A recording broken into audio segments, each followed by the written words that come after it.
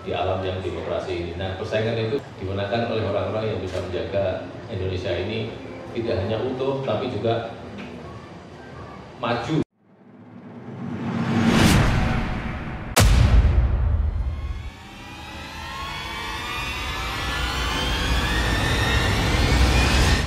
Salam kemajuan. Yang saya hormati Bapak Sidarto dan Nugroho, Bapak kita semua, beliau semenjak kekuasaan pertama Republik ini ada sampai dengan sekarang selalu dekat dengan istana luar biasa. Selanjutnya eh, Mas Arjo sebagai Ketua PII sekaligus penggagas dan eh, Ketua Panitia daripada acara Festival Kebangsaan Tulisan Yang Selamat. Secara tadi antusiasme sudah sangat bagus teman-teman dari panitia TUI. Ini sudah modal besar buat satu organisasi kecil sosial relawan untuk bergerak e, memenuhi apa ya kita akan punya hasrat untuk memenuhi keinginan kita mempunyai pimpinan yang sesuai dengan selera kita dalam memimpin bangsa ke depan. Bapak Ibu yang saya hormati, tadi eh, di luaran Pak Jun nanya saya, Mas kira-kira siapa sih ke depannya pastinya gitu.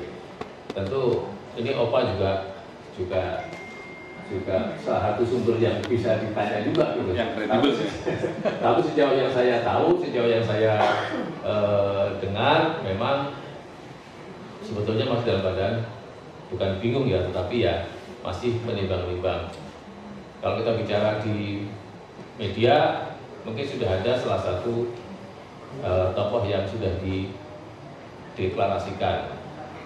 Tetapi tokoh tersebut juga belum bisa menemukan sampai sejauh ini siapa cawapresnya. Sebab yang di apa ya, yang mau diajak katanya kedua partainya juga masih masih masih ini kuat-kuatan pengaruh di mereka. Kemudian juga untuk kalau kita bicara eh, satu partai lagi juga sudah mendukung. Eh, kita tahu di, di media PSI me- mendeklar Pak Ganjar dan Bu Yeni Wahid dan lain-lain. Untuk yang lain rasanya sih belum gitu ya sejauh saya tahu itu. Nah apa yang dibicarakan eh, yang saya dengar dari internal semuanya masih tunggu dari sinyal yang eh, very apa ya the big big kingmaker gitu ya. Nah Bapak Ibu semuanya, sulatan buat teman-teman, hasrat ini harus disalurkan, harus dituangkan ke dalam kegiatan-kegiatan, di antaranya kegiatan eh, dalam satu organisasi kerelawanan, ya relawan sosial politik kalau saya bilangnya demikian.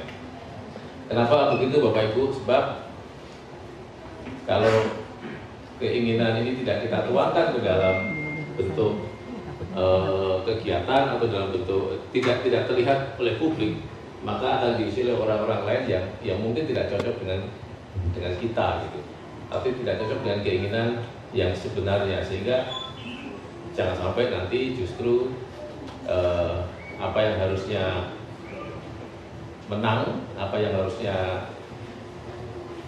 dambaan orang Indonesia yang seharusnya gitu, tapi karena banyak yang tidak tidak mengeluarkan pengaruhnya, tidak mengeluarkan keinginannya dalam kegiatan publik sehingga yang mengisi justru orang-orang yang dalam kutip berseberangan dengan kita yang bukan harapan kita. Sebab di dalam konteks eh, apa namanya dalam konteks menuju ke kepemimpinan nasional, menuju ke ke pemerintah apa namanya memegang kendali pemerintahan itu pasti ada persaingan di alam yang demokrasi ini. Nah persaingan itu dimenangkan oleh orang-orang yang bisa menjaga Indonesia ini tidak hanya utuh tapi juga maju atas ketertinggalan kita dari negara lain dan ini kemajuan itu sudah diletakkan fondasinya secara kuat oleh Presiden Jokowi selama ini.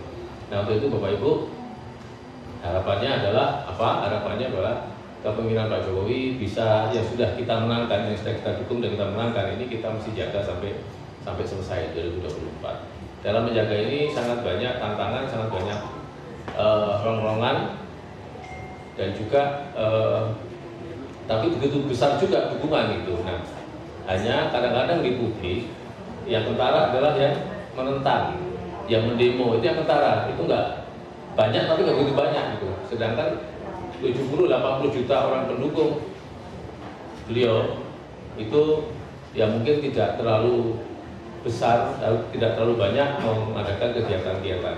Nah, sangat senang sekali bahwa entitas seperti relawan uh, TUI yang mana adalah relawan intelektual itu bisa segera ikut bangun, segera ikut memanaskan atau segera ikut menghangatkan atau mengajak daripada teman-teman yang lain untuk hidup lagi. Pak Jokowi perlu dukung di, di, di ranah publik, harus didukung. Dan cara mendukungnya adalah apa? Menggambarkan apa-apa yang sudah dicapai oleh beliau dan pemerintahannya. Untuk itu juga Bapak Ibu, saya update kegiatan uh, relawan dalam skala besar uh, pendukung Pak Jokowi. Tidak hanya relawan saja ya, tapi pendukung, simpatisan dan lain-lain. Nanti pada tanggal 26 November, sekali lagi tanggal 26 November mari kita sama-sama hadir di Gelora Bung Karno di GBK. Kita di stadion, nanti beliau akan insya Allah berpidato tunggal dan kita semua meramaikan dan kita ikuti apa yang akan disampaikan oleh beliau pada tanggal 26 tersebut hari Sabtu pagi berbarengan silahkan kita kita tumpah ruahkan baik di dalam maupun di luar stadion. Ini juga akan menjadi satu pembuktian kepada publik bahwa begitu besar antusias dukungan terhadap Presiden Jokowi. Nah, itu kita tunggu saja. Saya tidak tahu apakah di tanggal 26 nanti beliau akan sudah mendeklar nama atau belum. Tapi apa pun itu, mari kita sama-sama nanti keberikan tanggal 26.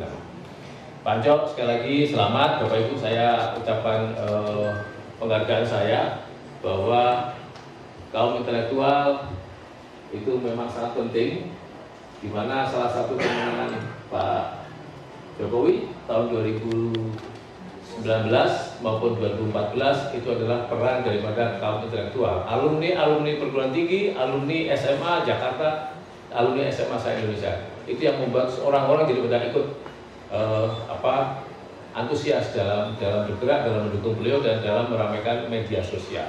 Untuk itu sekali lagi cuma selamat dan apa yang sudah kita dukung ke, oleh uh, oleh dukungan kita kepada Pak Jokowi sehingga jadi presiden dan sudah bekerja dengan baik dan maksimal kita dukung sampai akhir periode beliau dan insya Allah kita dituntun kepada pemimpin yang bisa meneruskan kepemimpinan saat ini Terima kasih. Wassalamualaikum warahmatullahi wabarakatuh. Waalaikumsalam.